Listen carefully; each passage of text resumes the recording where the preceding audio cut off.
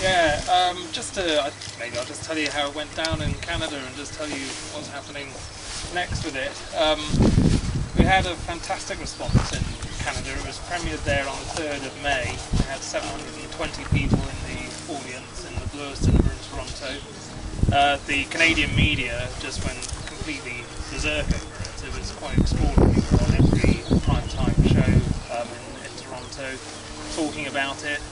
The thing that really struck me about it, in all the screenings, we had four screenings. One was for school children from around the region, from Ontario, bussed in from, from surrounding areas to Toronto to see it.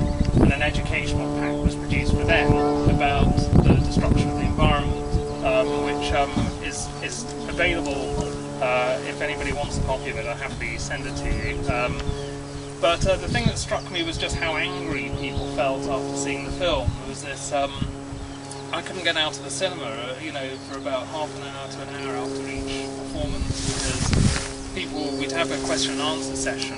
Um, they were furious at the treatment of Michael, Molly, Susan, David, Moira, and all the residents here. And they were all saying, you know, how on earth could something like this be allowed to happen? How could, you know, a government allow people to be harassed and intimidated and bullied by um, somebody like Donald Trump? And how could uh, Donald Trump be given the go-ahead to essentially destroy a, a unique um, habitat and, something which all the scientists tell us is, is unique in, in Europe?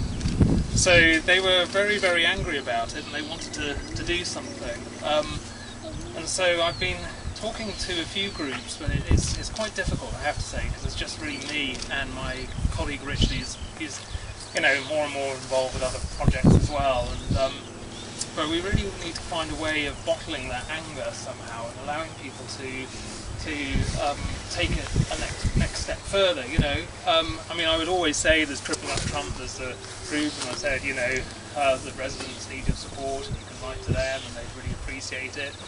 But really, I think people want more than that. So I have been speaking with Friends of the Earth Scotland to a number of other groups, but the one I think that will hopefully help us a little bit is a, a group called Take One Action, which is a Scottish-based sort of campaigning force for film, and they are sort of trying to use film to to change things for the better and to use it as a kind of an educational message. So, so I'm hoping something might come from that, but um, really, you know, the, the main thing for me now is to try and get people see it, obviously. It's an urgent documentary because it needs to get out there. You know, I didn't make it to be sitting on a shelf somewhere.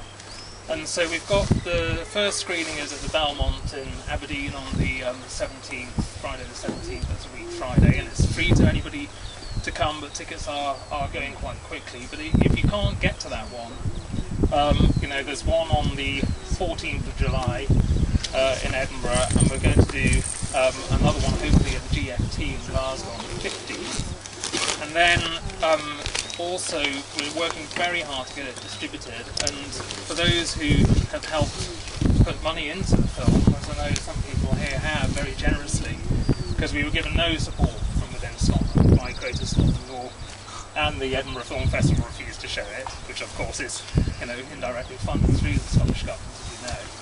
Um, you know, we've we've really sort of we're very grateful to the Belmont Cinema in Aberdeen who've given us the opportunity to screen it there first.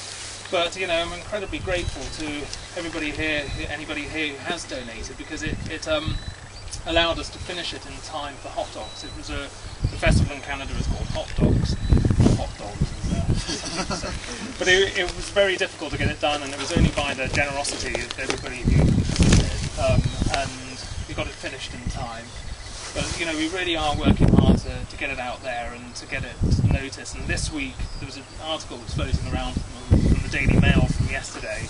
There's a piece in the Sunday Express today about it, quite a big piece. We'll really try and get the message out there. And I think the important thing is um, that this is, as Andy was saying, just wrapping up here, that it is a story that people just do not know about. They don't know the intimidation of, of the residents here. They don't know the destruction of the environment. they don't actually understand because nobody's told them about it. I mean, and we all know in the local newspapers here and never print any of that. So they don't actually, and that message, you know, hasn't got through to people. And I think part of the problem in Scotland is people just haven't had the facts to make up a proper decision about what's been happening. So hopefully the film will at least give them an opportunity to, to have those facts presented for the first time, and then you know let's see what happens. See, people can make up their own minds about what they think. But at the moment they're making it up their minds a lot of the time on one set of one side of the story. Certainly in this area, as we know, the Press and Journal and the Evening Express newspapers just printing one side of the story. And so hopefully this will help in that. So it'd be great to see as many of you who can come on the, uh, uh, you know, to some of these screenings. It'd be, it'd be really nice to see you there and you be very, very welcome. So hopefully we'll uh, yeah, see, you, see you there and, and look forward to seeing what happens with it. Uh, thanks very much. Thanks very much to, to uh, Michael and Sheila and Molly for, for, for this as well, for the tea and the, you know, it's such a contrast to the, I remember the, the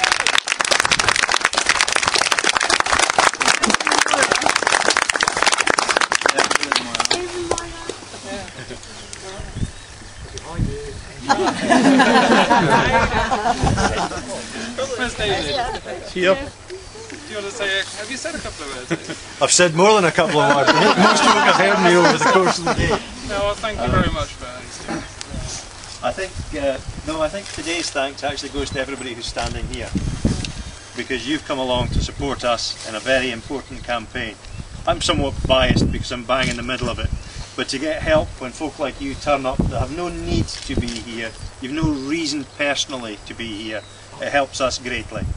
I'm sure Mike and Sheila and Molly, along with Mo uh, Moira and the others who are involved, Susie and John Munro and their family, will all be pleased that we've got a turnout like this of honest people, some Aberdeenshire, some far further afield, and we do appreciate your coming today. Thank you very much indeed. The thanks today goes to you for coming here. So thank you folks, I do appreciate it.